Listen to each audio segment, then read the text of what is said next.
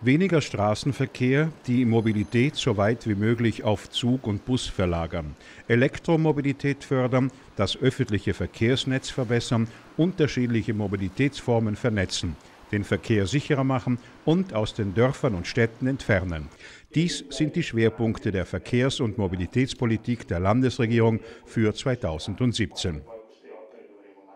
Es geht in erster Linie darum, äh, den öffentlichen Personennahverkehr noch attraktiver zu machen. Äh, sonst werden wir das Verkehrsproblem nicht in den Griff bekommen. Wir müssen noch näher zum Kunden. Das geht äh, dadurch, indem wir die Infrastruktur verbessern, das heißt neue Gleisverbindungen, bessere Gleisverbindungen, neue Bahnhöfe, bessere Bahnhöfe, auch die Fahrzeuge noch besser gestalten, neue Busse, neue Züge, noch nutzerfreundlicher, aber vor allem auch die Fahrpläne entsprechend nutzerfreundlich gestalten. Dann werden noch mehr Menschen umsteigen und das wird das, äh, die Straßen entlasten und das Verkehrsproblem entschärfen.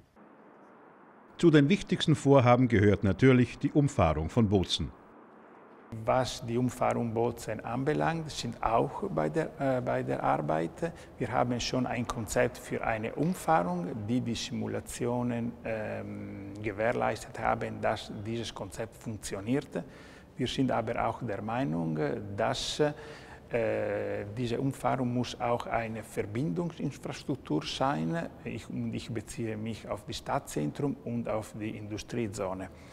Äh, innerhalb Ende Jänner bekommen wir die Ergebnisse der Simulationen und innerhalb Ende Februar sind wir sicher, dass wir eine vertiefte Studie zur Landesregierung vorlegen können. Es geht aber nicht nur um die Landeshauptstadt. Auch in anderen Städten und Tälern sind wichtige Maßnahmen geplant. Ja, wir gehen im Jahr 2017 drei Projekte an, wodurch eben sich die Situation, was eben die Staus bzw. auch die Wartezeiten in, im Buchkafenamt, im Eisacktal und auch im Pustertal äh, wesentliche Verbesserungen mit sich bringen äh, werden. Ich denke dabei an die 7000 Autos, die eben in gewisse Zeiten vom Gadertal auf der Route nach Bruneck oder äh, noch mehr nach Brixen eben äh, sich bewegen werden.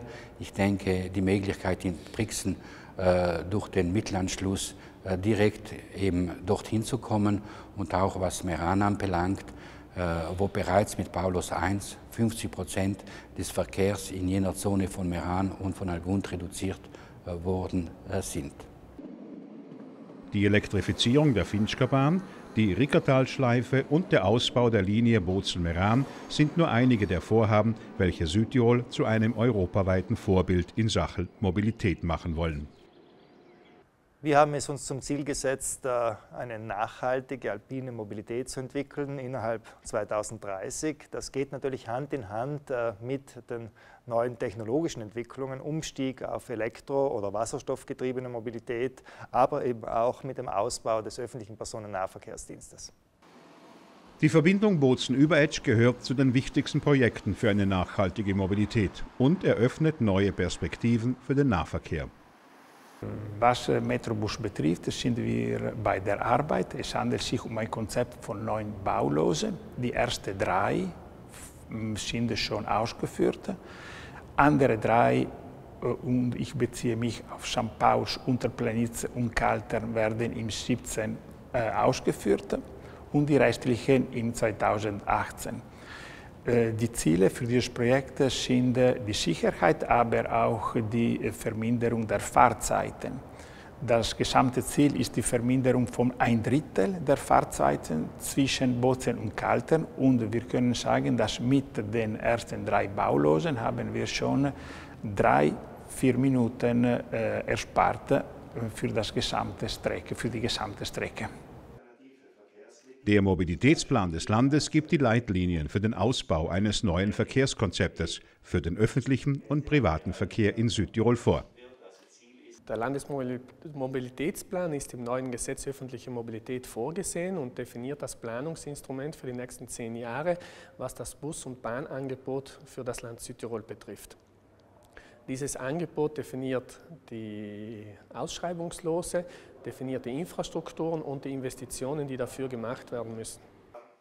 Es ist auch darauf hingewiesen worden, dass das Landesgesetz zur Mobilität alle Normen vereinheitlicht hat, dass es den europäischen Vorgaben entspricht und dass es Kosteneinsparung, Förderung der lokalen Wirtschaft und hohe Qualität der Dienstleistungen in sich vereint.